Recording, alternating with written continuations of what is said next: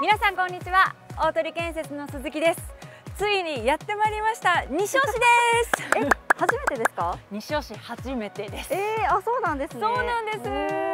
はい。あの西尾市で建築する大鳥建設の看板出ましたっていう時に西尾市から大鳥さんって西尾市やってくれるんですねってたくさんの方ご来場いただきました。あそうなんですね。はいそうなんです。で早速こう、外観からちょっと特徴的ですけど、はい、今回どんなお家になってるんですか？今回は平屋です。人気の平屋ですちょっといろいろ中工夫してあるんで楽しみにしててください。はい。でまずちょっと敷地のご説明させていただきますと、はい、敷地は間口がだいたい約18メーター。お、うん、広いです、ね、広い。18メーターで、えっ、ー、と150坪の敷地。で、建物の間口は14メーターあります。へえ。確かにこう印象的ですよね、うん、その間口のそうそうそうそうそう。でね今日ね現在今外交工事が途中ですので、はい、完成動画がお見せできないの非常に残念なんですけど、うんうん、中はとても素敵な空間になっているので、はい、楽しみにしててください。はい。それでは早速中ご案内したいと思います。はいお願いします。では中の方どうぞ。はいうわすごい広い高いいますねそうなんです。すごいですね。ね、広くて高い。なんと玄関で、えっ、ー、と、まあ、収納まで入れて約六畳あります。いや、六畳十分広いですけど。それ以上に。そう。広く見えますね。ね高いから、約四メータ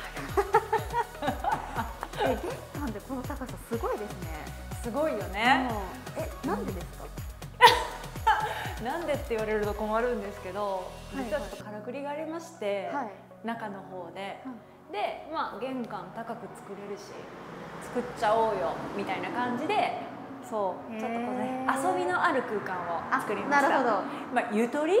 ちょっと余白的な？あそうそうそうそうそう。そうそんな感じで。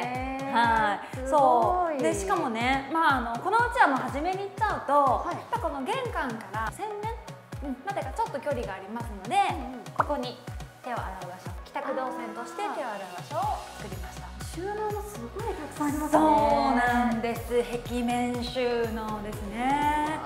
そう先日のあの YouTube ライブでのアンケートは、はい、あの世の中の皆さんシューズクローク派だったんですけど大鳥建設の実例は壁面収納が多いですね。確かにそうですね。そうですね収納を広く作るとやっぱりこういう広い玄関作れなかったりとか、うん、どこかが狭くなってくるので、うん、大事なのはどこに何をしまいたいかと必要な収納量が確保できてればシューズクロークとかそのまあ壁面収納とか下駄箱シューズボックスとかにそんなにこだわらなくてもいいのかなと思いますね。そうですね、確かに、はい、でこの方今これね靴収納になってるんですけど、はい、こちらはまたちょっと別のカウンタータイプのカウンターじゃ可動だな。の収納になってますのでなるほど。本当にここもねあのハンガーでねハンガーになってるのでアウターだったりとかかけれるようになってますね。では早速はい。こちらの扉を開けるともうイメージつきますね。リビングの方になります。はい。お邪魔します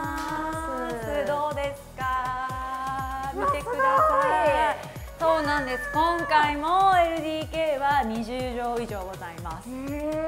はい。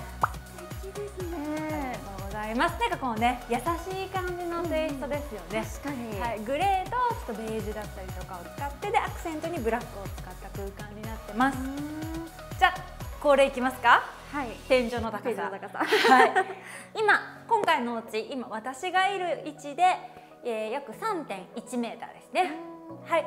でゆるい勾配になってますので、うんこちらでだいたい2.6メーターの高さ。なるほど、なので全体的に LDK の天井は高くなってます。で、えーとまあ、見ての通りこちらがリビングで見てください。ここのリビングの壁はちょっとベージュっぽい優しい感じの。優しい感じ、うん、いいですね。可愛いですよね、うん、実はもうほら見てください。わすごい。さっきねすごい夕焼けが綺麗だったんですよね、うんもう全面窓です。すごい。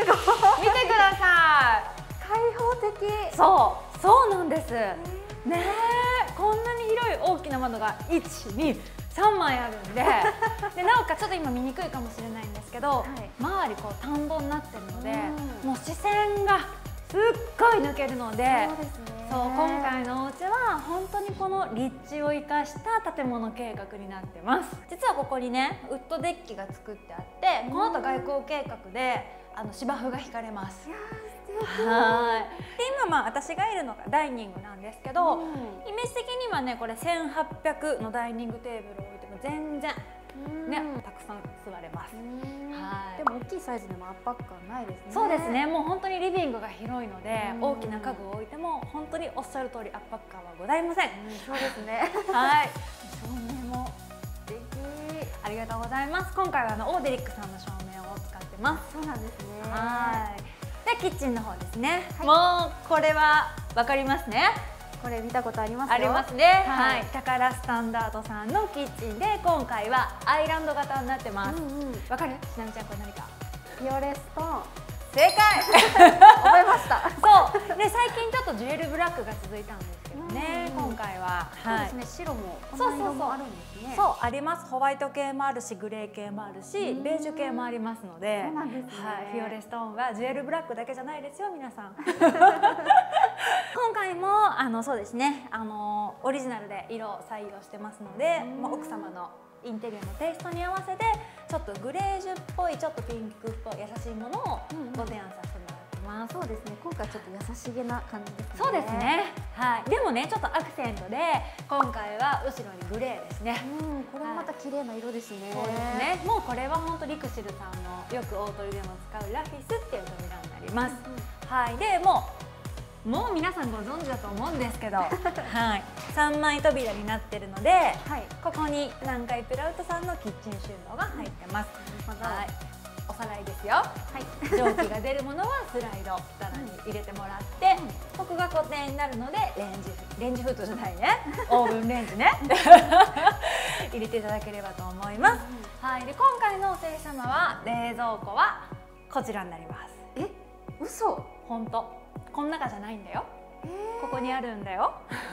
そうだから、ね、123枚。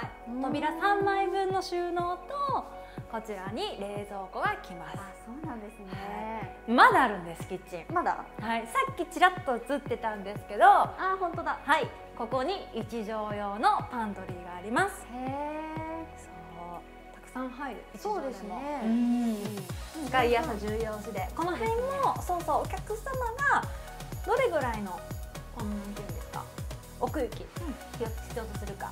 これ今20センチぐらいかな、うんうん、はい、20センチの奥行きの棚が12345枚入ってます、うん、なるほど。そうそうそう。でも置物によってそういった幅とかも変える変えていくと。そうですね。収納も効率よくなりそうですね。そうそうそうそう。食器好きな人にはたまらない空間ですね。確かに。はい、うん、皆さんいつもご視聴ありがとうございます大鳥建設では大人気の資料請求と無料相談会を随時受け付けておりますので興味を持っていただけた方は YouTube の概要欄にある URL からお申し込みください。大鳥建設では名古屋と三重県四日市にモデルハウスがございます。ご予約制にはなるんですけどもあのいつでもご来場可能でございますのでそちらもあのホームページよりお申し込みください。また今回の動画を見ていいなと思ってくださった方はチャンネル登録と高評価よろしくお願いいたします。皆様からいつもいただくコメントにあの私はいつも目を通しておりますので気になることとかあのこれ教えてほしいよっていうことがあればぜひコメント欄にメッセージをください。お待ちしております。いつもありがとうございます。